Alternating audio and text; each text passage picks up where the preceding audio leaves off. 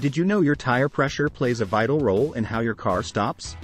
Overinflation makes tires rigid, reducing road contact and increasing braking distance. Underinflation causes excessive flexing, potential overheating, and even tire failure.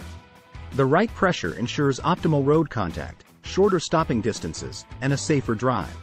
So, remember to check your tire pressure before every journey. Safety first.